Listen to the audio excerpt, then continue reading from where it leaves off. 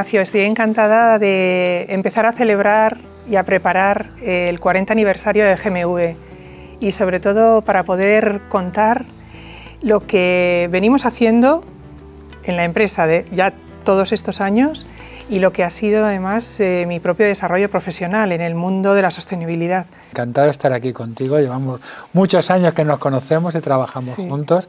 Y sí que es verdad que es un momento importante, aunque no sea la cifra tan redonda como en otros eh, aniversarios se suele celebrar, pensamos que este año 40 era una cifra importante. Porque al fin y al cabo tampoco hay tantas empresas que llegan a los 40 años, hay muchas que caen con el camino, y sobre todo con una historia de éxito tan continuada.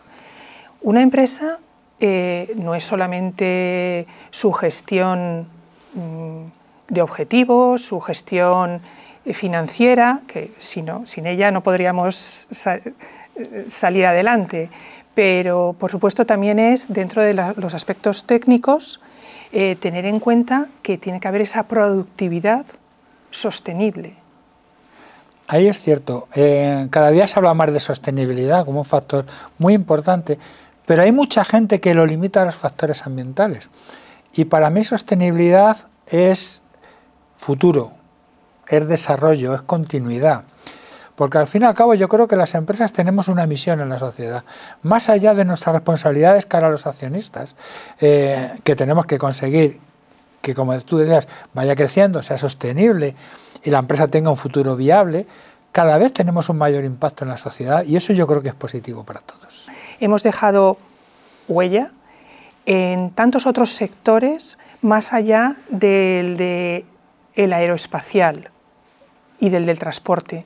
Entonces creo que, es una cosa para, hablar eh, de la impronta que ha dejado eh, no solamente nuestro sector, nuestro hacer sostenible, sino también cómo vamos de la mano con otros, otros tantos sectores en, en nuestro país e internacionales, porque es, es una huella muy, muy importante. Sí que es verdad que hay un riesgo en que al final la sostenibilidad sea un tópico y sea una palabra muy manida y muchas veces con bastante, bastante poco fondo.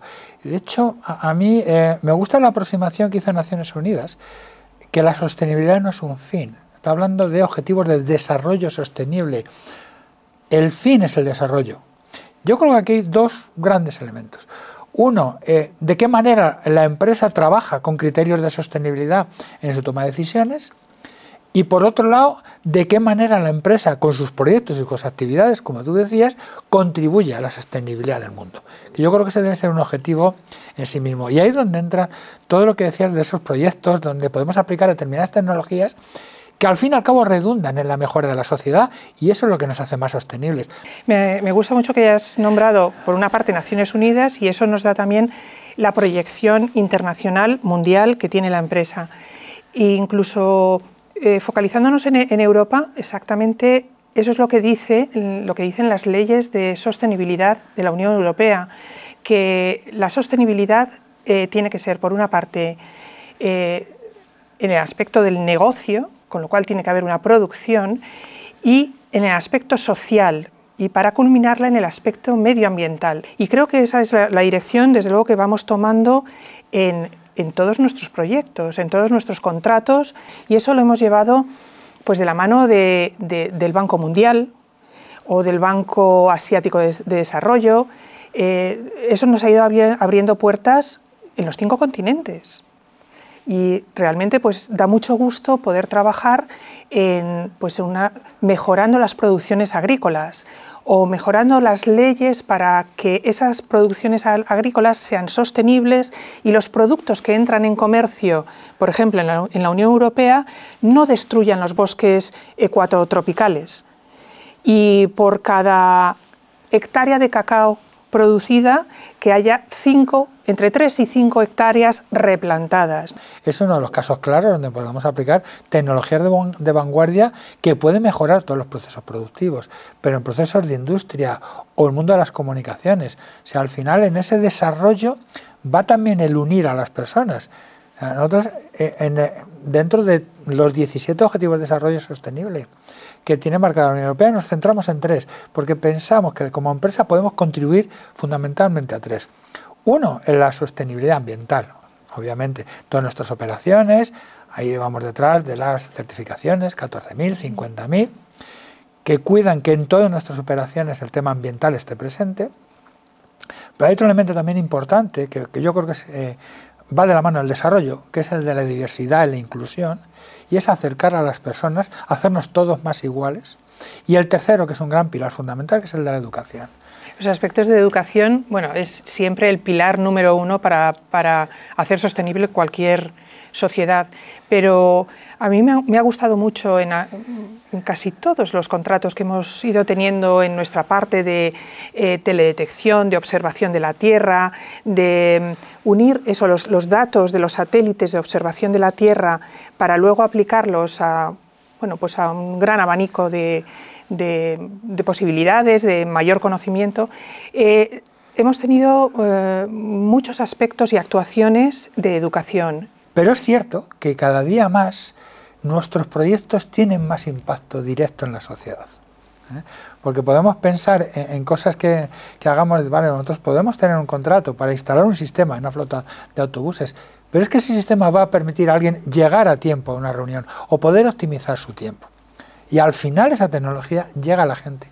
Y yo creo que cada día más se está viendo que la tecnología de GMV llega al usuario. Como decías tú, llega a las instituciones, llega a la gente a través de datos, a través de información.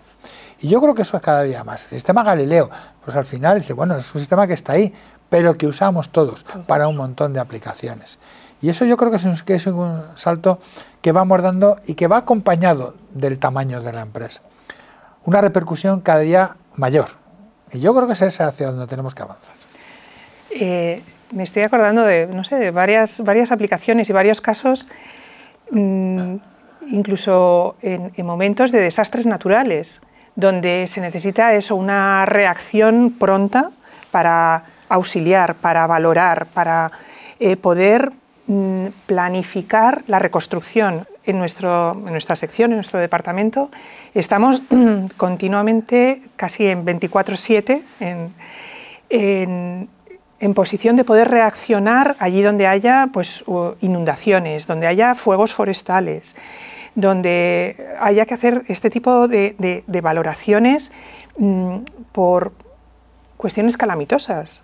Es que la tecnología al final es al servicio de la humanidad y no al revés. Entonces, que buscar de qué manera la tecnología puede ayudar a la gente en su día a día.